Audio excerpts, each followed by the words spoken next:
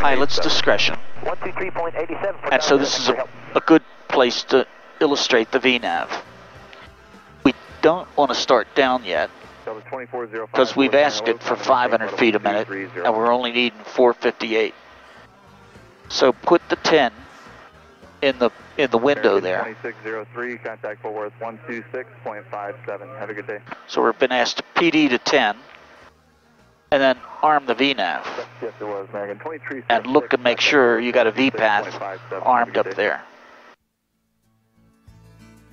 But that's it.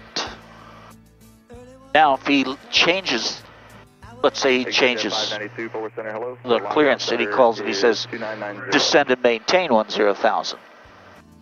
Okay, we can't wait anymore, we gotta go down immediately, we would press VNAV direct. As this gets closer. to the number we want, this is piston aircraft, so we want 500 feet a minute for the descent. The top of the descent's one and a half minutes away, or one and three quarters. We're just gonna wait, and uh, when it arms up, the scale will come in here, the carrot will be there on the scale, and uh, the rest is automatic.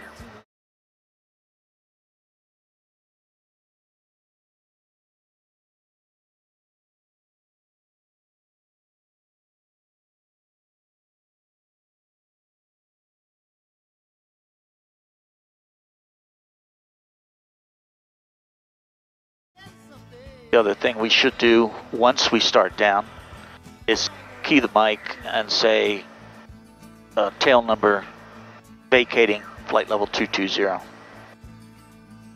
And it's okay to put the new altimeter in the backup, but we should change this until our descent begins, so we're complying with the clearance. So Betty said vertical track. The VPAth is still armed, as it should be. This light is not blinking, which it should not be.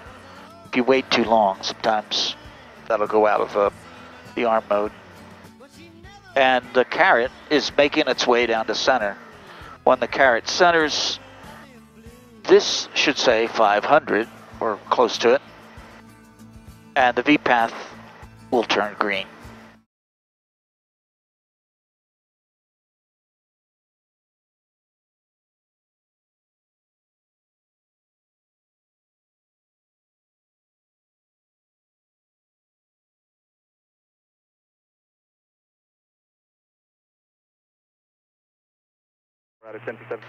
And there goes the V-path is arming up, and the aircraft is beginning down.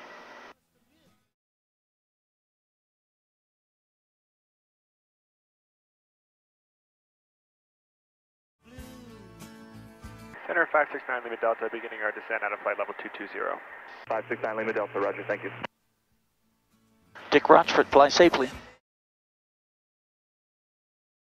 Train off it.